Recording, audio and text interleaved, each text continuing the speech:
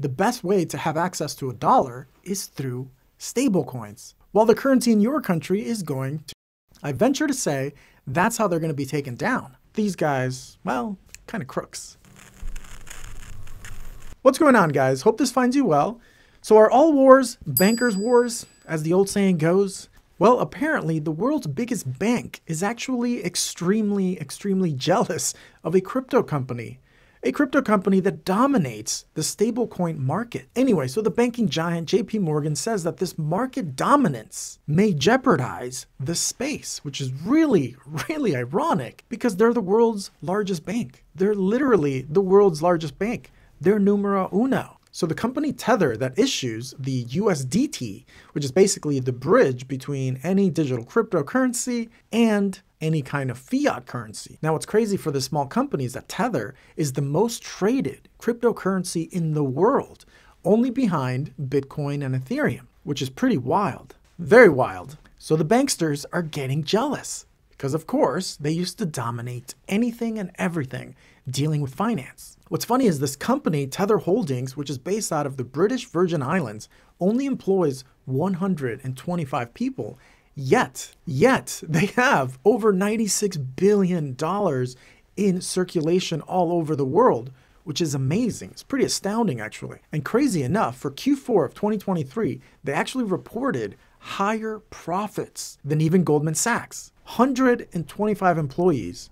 That's pretty amazing. Now, another interesting angle that could be taken to basically kill off stablecoins or their companies, is the angle where the powers that be basically show that stablecoins, not Bitcoin, but stablecoins, could actually be used for crimes. Crypto crimes, you know, supporting terrorists or, or sanctioned individuals or countries, etc., etc. But one interesting angle about that, for example, if you're in Argentina, inflation is sky high. Let's say you get paid for some goods or services, but but you turn around and then you put that money you convert that money into USDT, into a stablecoin, basically into something tied to the US dollar, providing some form of stability while the currency in your country is going to, because of course, inflation. So there are some incredible uses for something like a stablecoin.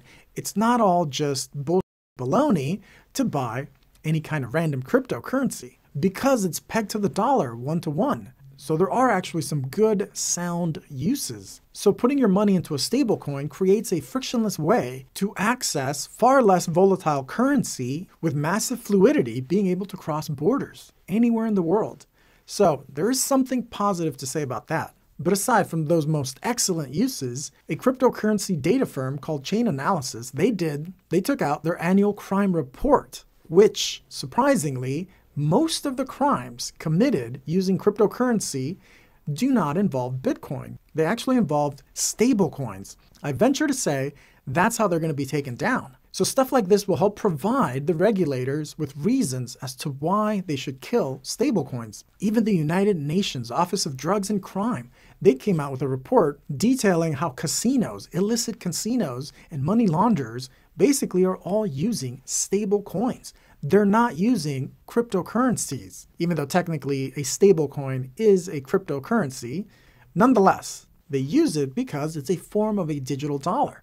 And that makes perfect sense. With a report from Chainalysis coming out saying that stablecoins were used in up to 70% of all crimes, all scams, and transactions involving any kind of cryptocurrency. So the majority of crimes committed using cryptocurrency were actually stablecoins. Pretty fascinating. Where they say that last year alone, up to 83% of crypto payments to sanctioned countries like Iran or Russia were in stablecoins. So, stablecoins mimicking the dollar, the euro, stuff like this. Fascinating. So, they came out with a number of up to $40 billion from 2022 to 2023 using stablecoins, where interestingly enough, the single largest use category was for sanction evasion. So more than half of the $40 billion were all just to evade sanctions, with a majority using stablecoins. Where an analyst says the obvious. They're saying if you're in a sanctioned country, if you're in a sanctioned state,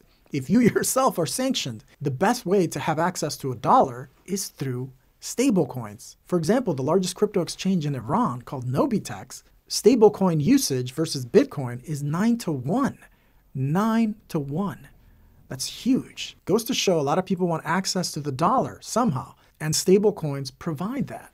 Super, super interesting. So, as you can imagine, a similar trend is seen in other sanctioned countries. So, of course, this provides a very easy way for them to basically go around international laws. And let's remember that Binance and the CEO of Binance, CZ, these were the laws that got him in trouble. And that's how they took him down. So if stablecoins are providing the service to sanction people all over the world, well, they could find themselves in a lot of trouble, and probably the banking industry would love that because it would take them out as financial competitors. Makes sense. So what's really funny is that stablecoins, generally speaking, but in particular Tether, they claim that they have vast, large reserves to basically keep it pegged to the dollar on a one to one, which, funny enough, the banks themselves don't have that practice. It really kind of makes you wonder if the big banks basically are pushing, lobbying for more of the regulations, of course, because these are new competitors to them, and that makes a lot of sense. For example, JP Morgan analysts wrote that stablecoin issuers that have been more aligned with existing regulations are likely to benefit more from the coming regulations. What does that mean? Well, they're insinuating that companies like Tether are outside the scope of regulation. Now, there's no denying that some of these guys, some of these companies, well, they might fudge the numbers a little bit. Company Tether was actually fined $41 million back in 2021, fined by the CFTC for lying, for lying about its reserves. But supposedly the company is trying to behave itself because they started releasing quarterly attestations, basically detailing their finances, trying to be in compliance. And that's how people found out that they actually made more profits than Goldman Sachs. So, as you can see in their last report, Goldman Sachs reported profits $2.01 billion, which is nothing to sneeze at. But Tether actually made gains of approximately $2.85 billion, so considerably higher performance than one of Wall Street's biggest sharks, Goldman Sachs. Now, what's super interesting about all this is actually how Tether made all their money. So, in the super interesting report by Tether, which they say was conducted by an independent global auditing firm, the firm being called BDO, they claim that this report actually reaffirms Tether's own reserves holdings, and they provide a nice detailed breakdown of the company's reserves. All of this goes to demonstrate that the business of handling money is probably one of the most lucrative out there.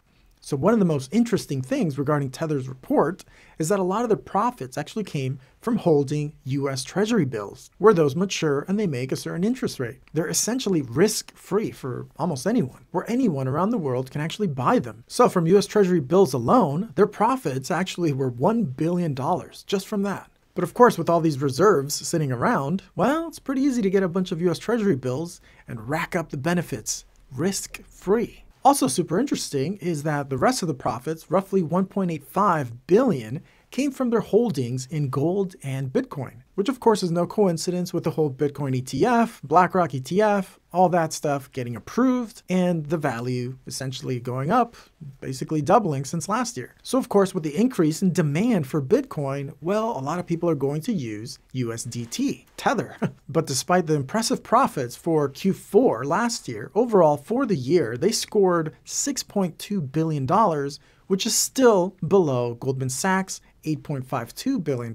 But nonetheless, this gives you sort of an insight as to the amazing financial power behind some of cryptocurrency's power players compared to the world's biggest bank criticizing them, and of course, one of the world's largest asset managers, one of the world's most famous Wall Street sharks. All is fair in love and war.